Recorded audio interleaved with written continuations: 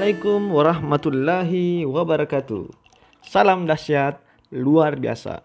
Oke, uh, terima kasih atas uh, perhatiannya dan kembali lagi video PMS itu part selanjutnya yaitu pada uh, kesempatan kali ini kita akan membahas lanjutan hukum dasar kimia yaitu sekarang sampai pada hukum ketiga ya, hukum perba perbandingan berganda atau biasa disebut hukum Dalton. Oke, silakan disiapkan masing-masing uh, inranya ya. Oke, baik, saya langsung saja supaya agak agak agar bisa cepat. Jadi uh, hukum ini biasa dinamakan hukum perbandingan berganda ya, seperti yang saya tulis di sini ya. Hukum perbandingan berganda. Ya, atau biasa juga dikatakan hukum Dalton. Nah, kenapa dikatakan hukum Dalton? Karena hukum ini merupakan yang pertama kali eh, paparkan yaitu seorang ilmuwan kimia yang yang bernama Dalton atau nama nama lengkapnya John Dalton ya. Seorang ilmuwan kimia ya. Yang pertama kali memaparkan hukum-hukum alam ini. Salah satunya yang yang yang dia beri nama hukum perbandingan berganda ya. Nah, sekarang kita langsung saja dibunyinya. Jadi Eh, sangat saya kira sangat jelas di sini kata-katanya. Jika dua unsur dapat membentuk lebih dari satu senyawa ya. Jika dua unsur dapat membentuk lebih dari satu senyawa. Perbandingan massa salah satu unsur pada tiap senyawa menggunakan bilangan bulat dan sederhana. Ya. Jadi sekali lagi jadi ini dibandingkan ki antara senyawa satu dengan senyawa dua. Nah, coba baca baik-baik ya. Jika ada dua unsur, ada dua unsur dapat membentuk lebih dari satu senyawa. Jadi ada ada dua unsur, misalnya itu unsur unsur C, unsur C dan O. Unsur karbon dan unsur oksigen ini bisa membentuk lebih dari satu senyawa. Misalnya unsur C dan O ini ada dua bisa saja berbentuk CO ini senyawa satu dan berbentuk CO2. Nah, jadi hukum Dalton berlaku jika ada dua unsur, unsur ada dua unsur membentuk dua jenis senyawa atau lebih, bisa saja lebih. Ya, bisa saja lebih. Jadi kalau ada dua unsur tapi satu macam jenis senyawa tidak bisa dua, berarti tidak memenuhi pasti tidak memenuhi hukum perbandingan berganda. Jadi ini khusus ini khusus hukum jika ada sekali lagi ya jika ada dua unsur jika ada dua unsur misalnya ini unsur C dan O bisa membentuk dua senyawa. Dua dua jenis zat bisa CO bisa juga CO2 bisa karbon karbon monoksida ini namanya ini namanya karbon dioksida. Ya jadi sekali lagi berlaku hanya untuk eh, dua unsur yang membentuk yang membentuk lebih dari satu senyawa ya. Nah, maka jika ada yang seperti ini maka per, selanjutnya kalimatnya setelah koma perbandingan massa salah satu unsur pada tiap senyawa merupakan bilangan bulat dan sederhana. Jadi perbandingan massanya salah satu unsur. Nah, bisa saja unsur C dengan unsur O. Nah, misalnya pada pada kasus ini ya antara C dengan dengan O. Jadi saya ulangi lagi, jika ada yang, yang seperti ini, perbandingan massa salah satu unsur pada tiap senyawa merupakan bilangan bulat dan sederhana. Jadi perbandingannya C C pada senyawa satu dengan C senyawa dua dan perbandingannya O pada senyawa satu ini dan di, jika dibandingkan dengan O pada senyawa dua itu katanya bilangan bulat dan sederhana. Uh, perbandingannya bilang bulat dan sederhana. Artinya maksudnya di sini adalah uh, angkanya angkanya tepat sekali bilangan bulat ya. Dan sangat sederhana. Kayak misalnya satu banding dua dua banding tiga ya. Kayak seperti itu. Nanti kita nanti kita bahas di di soalnya. Jadi sekali lagi maksudnya seperti ini ya. Saya ulang lagi supaya tidak tercoret. Supaya lebih paham ya Nah, saya rasa eh, pada pada apa pada pada praktiknya soalnya tidak terlalu rumit ya, insyaallah. Nah, saya ulangi lagi ya. jika dua unsur membentuk lebih dari satu senyawa, nah saya ambil contoh ini, C dan O. Dia bisa membentuk senyawa satu, ini saya namakan senyawa satu, karbon monoksida, dengan senyawa dua. Jadi sama-sama ada unsur C dan unsur O-nya. Jadi bisa bisa membentuk dua jenis dua jenis senyawa. Bisa juga lebih nanti ya jika jika ada unsur lainnya. Maka perbandingan massa salah satu unsur pada tiap senyawa merupakan bilangan bulat dan sederhana. Makanya perbandingannya C C yang di sini senyawa satu dengan C yang, C yang di sini senyawa dua itu bilangan bulat dan sederhana. Dan perbandingannya antara O yang di senyawa satu dengan O yang di senyawa dua O yang di senyawa dua itu uh, bilangan bulat dan sederhana. Ingat perbandingan massanya, perbandingan massanya. Jadi begitu begitu maksudnya. Maka jika ada yang seperti ini maka berlaku pasti hukum perbandingan berganda. Hukum alam semesta yang dinamakan oleh Dalton adalah hukum perbandingan berganda. Nah, misalnya apa? Salah, salah satu contohnya ya, oh, contoh berikutnya lagi bisa juga unsur S dan O. Nah, ini bisa SO2, ini bisa SO3. Nah, ini kalau ada seperti ini maka berlaku hukum Dalton. Dan dan lain sebagainya. Nanti kita masuk ke soalnya ya, oke? Okay? Nah, next. Lanjut uh, di soalnya. Yaitu misalnya ya ada soal seperti ini. Belerang atau simbolnya S dan oksigen, simbolnya simbol kimianya O, membentuk dua jenis senyawa, ya. Jadi es belerang dan oksigen membentuk dua jenis dua jenis senyawa. Itu kalimat pertamanya. Kemudian 100 gram senyawa satu mengandung 50 gram belerang. Sedangkan 150 gram senyawa dua mengandung 100 gram oksigen. Apakah hukum Dalton berlaku untuk senyawa tersebut? Nah, jadi maksudnya begini. Yang kita di sini mau membuktikan apakah eh, senyawa belerang dan oksigen ini pada senyawa satu dan senyawa dua memenuhi hukum Dalton atau tidak ya. Memenuhi hukum Dalton atau tidak. Jadi kita hanya membuktikan saja bagaimana ya. Apakah nanti pada saat kita mencari perbandingannya jadi kita di sini mencari mencari perbandingan massanya perbandingan massa. Perbandingan massa. Kalau perbandingan massanya nanti ini pada senyawa satu dan senyawa dua itu memenuhi hukum Dalton yaitu kita kembali lagi ke hukumnya apa? Bilangan bulat dan sederhana. Kalau perbandingan massanya salah satu unsur pada setiap senyawa merupakan bilangan bulat dan sederhana, berarti itu pasti mengikuti hukum Dalton ya. Jadi eh, soal soal mengenai hukum Dalton pasti selalu mencari perbandingan massa tapi bukan bukan seperti perbandingan massa pada pada hukum Proust atau uh, hukum perbandingan tetap bukan. Jadi kita kita kita membandingkan massa di senyawa satu dengan di senyawa dua. Ya, terserah unsur apakah nanti itu yang di, yang ditanyakan ya. Jadi kita langsung masuk di kasus. Ya, coba. Jadi ada senyawa satu, ada senyawa satu dan senyawa dua. Ya, uh, eh, 100 gram. Coba lihat deh.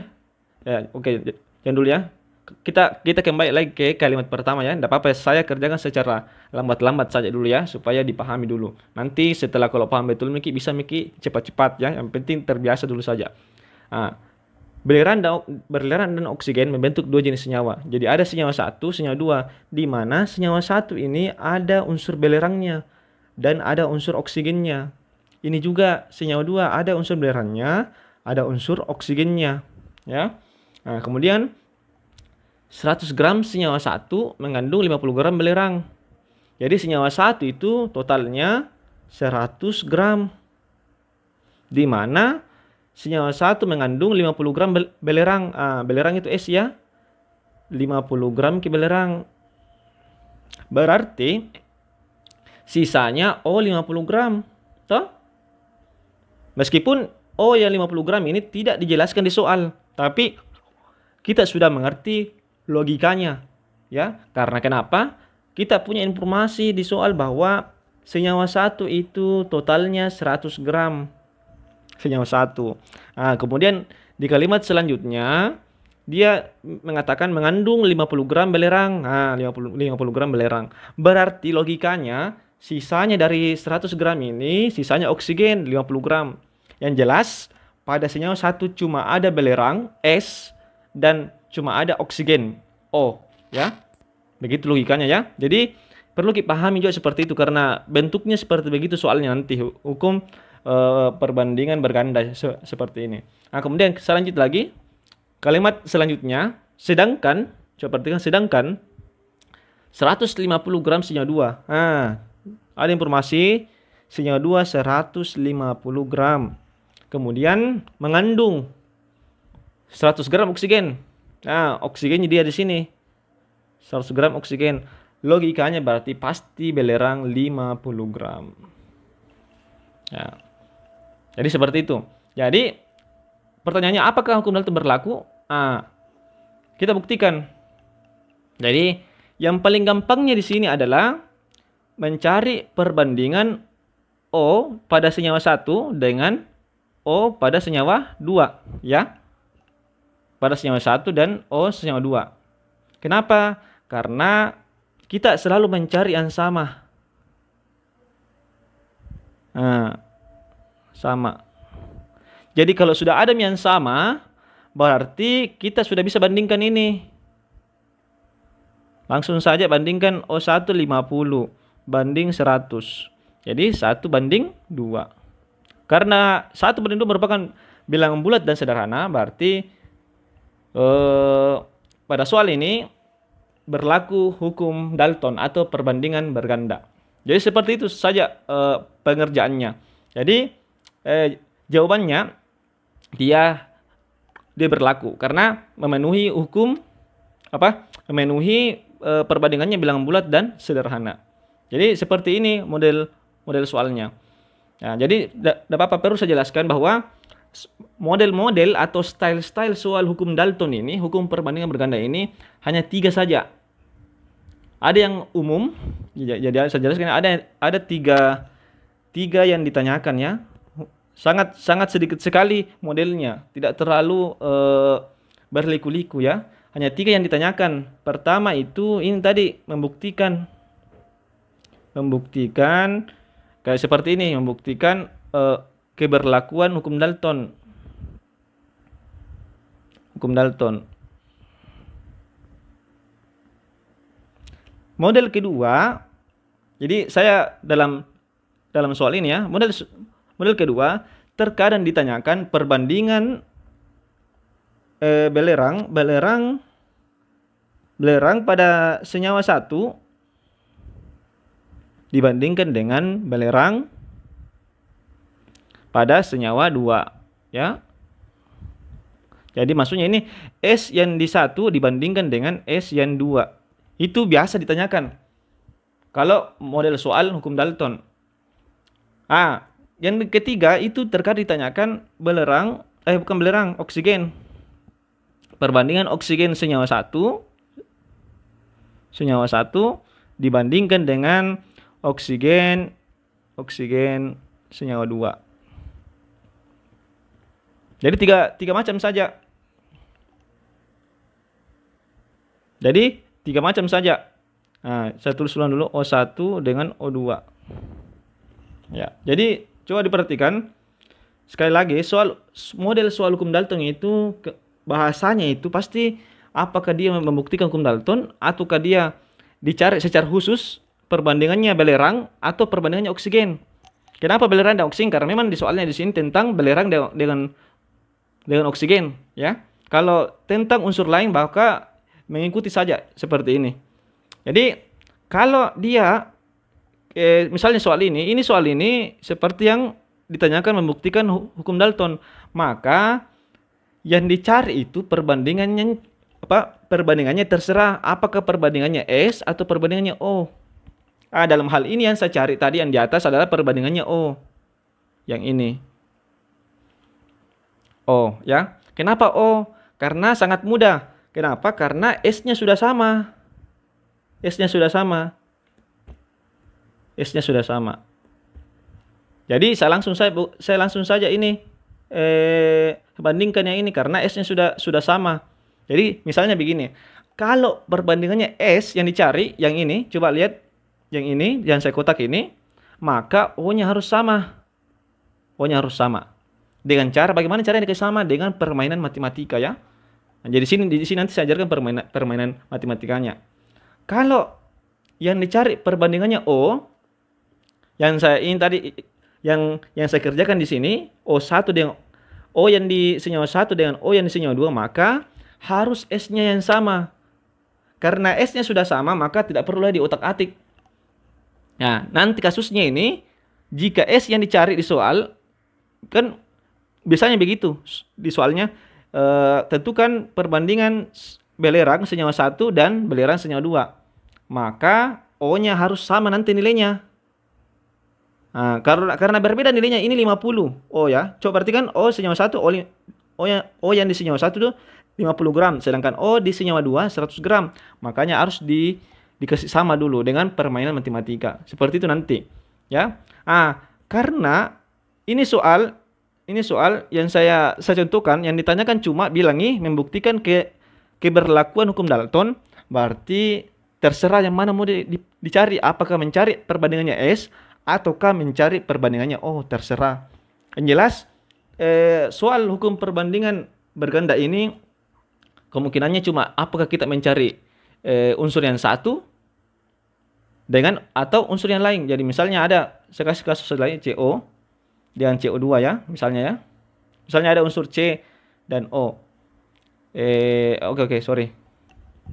Senyawa satu misalnya, ada C-nya dan ada O-nya ya. Kemudian senyawa dua. Kemudian senyawa dua, ada ada juga C-nya dan ada juga O-nya. Nah, kemungkinan harus diperhatikan soal apa ditanyakan. Apakah kita mencari C perbandingannya perbandingannya C yang di senyawa 1 dengan C di senyawa 2 ataukah perbandingannya O senyawa 1 dengan O senyawa 2. Nah, kalau yang dicari adalah ini yang ditanyakan maka harus disamakan O. O harus sama. Harus sama. Harus sama. Harus sama nanti masanya di sini. Ceritanya. Kalau yang dicari O1 banding O2 maka C harus sama. Seperti itu nanti.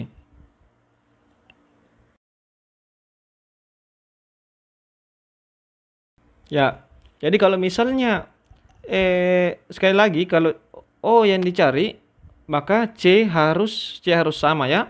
Tapi kalau dia bilang eh, yang ditanyakan adalah membuktikan saja keberlakuan hukum Dalton, maka terserah mau cari yang di atas C1 banding C2 ataukah O1 dengan O2.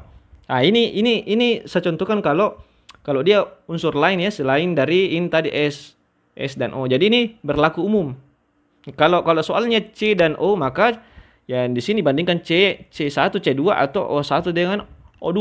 Nah, di soal ini S dan O maka yang ditanyakan yang ditanyakan itu kemungkinannya S1 perbandingannya S1 dengan S2 ataukah O1 dengan O2. Seperti itu ya. Nah, coba ya coba misalnya di sini saya ajarkan misalnya kalau kita mencari perbandingannya S. Ini kan tadi perbandingannya O. O 1 banding 2 ya. Jadi eh, sekarang coba kalau ditanyakan di sini perbandingannya S belerang pada senyawa 1 dan belerang pada senyawa 2 atau S1 banding S2 ya. Begitu begitu maksudnya. Jadi saya hapus dulu saja lagi nih ya. Silakan tonton ulang untuk O-nya ya. Supaya agak bersih. Saya hapus dulu ini. Dengan soal yang sama ya. Dengan soal yang sama. Ya, misalnya ya. Ditanyakan adalah perbandingan S1 satu senyawa belerang pada senyawa 1 dibandingkan dengan senyawa belerang senyawa 2. Nah, coba kita lihat di sini. Kalau sekali lagi kalau S yang dicari perbandingannya S1 dengan S2 ya S1 ini ya dengan S2 maka O-nya harus sama. Apakah O sama? Tidak ya. O yang di 1 itu 50. O yang O, o yang di 2 itu 100. Nah, makanya harus dikasih sama. Caranya eh, caranya bisa seperti ini. Ini bisa dikali dengan 100 per 50. Ya. 100 per 50 ya. Kalau O kalau O yang di senyawa 1 saya kali 100 per 50 maka S juga yang di senyawa satu harus sekali 100 per 50 juga. Ya. Harus ikut ya karena sama-sama di senyawa satu. Nah, kalau senyawa dua yang saya kali, maka S yang di senyawa dua yang yang dikali tidak usah S yang di senyawa satu. Nah, pertanyaannya kenapa? Kenapa harus 100 per 50? Karena supaya sama dengan 100 ki sama sama dengan O e apa O yang di senyawa satu sama dengan O yang O di senyawa dua. Jadi begini permainan matematikanya. 50 dikali berapa sama dengan 100? Maka saya kali 100 per 50. Karena kenapa? Karena bisa nanti dicoret begini 50 50. Toh? Permainan matematikanya ya. Permainan matematika. Saya coret di sini maka sisa 100. Nah, jadi yang ini yang, yang mau dirubah ini 50 kasih di bawah ih karena nanti dicoret kemudian ini 100 di atas karena ini yang mau diikuti yang 100 eh kasih di atas ki jadi seperti seperti itu permainannya ya Nah, kenapa saya pakai angka 100 per 50 supaya hasilnya sama dengan 100 ya. Nah, silakan diulang diulang lagi di, diulang-ulang lagi atau ditanyakan ya. Saya hapus saja dulu. Nah, oke. Okay. karena oh di sini satu saya bagi 100 per, saya, apa saya kali 100 per 50 maka yang di atas juga supaya tidak berubah perbandingannya harus saya kali juga 100 per 50 nah kita pakai kalkulator saja tidak usah ya langsung saja ya. Sama hasilnya 100 juga ya 100 juga karena dicoret juga. Nah karena sudah sama 100 100 sama maka bisa dibandingkan ini menjadi S1 belerang 1 dibandingkan dengan belerang pada senyawa 2 yaitu senyawa 1 100 senyawa 2 50 ya maka 2 banding 1 jadi seperti ini maka karena 2 2 banding 1 merupakan hukum apa bilangan bulat dan sederhana maka memenuhi hukum Dalton nah, kalau kalau misalnya ditanyakan berapa perbandingannya maka jawabannya 2 banding 1 S1 2, S2 yang 1. Jadi seperti itu. Jadi pada soal ini jadi eh, saya langsung kasih tahu bagaimana pengembangan soalnya. Terkadang soalnya yang seperti ini yang ditanyakan adalah keberlakuan hukum Dalton. Terkadang juga soalnya dicari perbandingan belerang pada senyawa 1 dan senyawa 2 dan yang yang terakhir kemungkinannya nanti di soal yang yang saya kasih atau didapatkan di mana pun apakah di di SBK atau soal di eh, KSNK dan dan seterusnya itu yang dicari adalah perbandingan O senyawa satu dan O senyawa dua seperti ini. Tiga kemungkin tiga kemungkinannya yang dicari. Tapi pada aplikasinya yang dicari cuma dua kemungkinan apakah S1 banding S2 ataukah O1 banding O2 jadi seperti itu ya kemungkinannya. Oke, okay? jadi saya harap uh, Anda sudah bisa nanti uh, mengerjakan soal perbandingan berganda. Silakan latihan-latihan lagi ya. Nah, selanjutnya nanti saya akan kasih lagi soal soal berikutnya di part selanjutnya ya. Jadi eh, silakan ditanyakan dulu apa yang masih kurang di sini.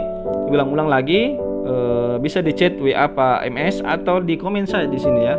Atau ada soal yang yang agak berbeda dengan di sini bisa ditanyakan ya.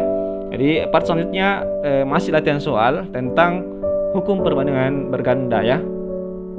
Oke, terima kasih atas perhatiannya. Assalamualaikum warahmatullahi wabarakatuh. Tetap salam dahsyat luar biasa.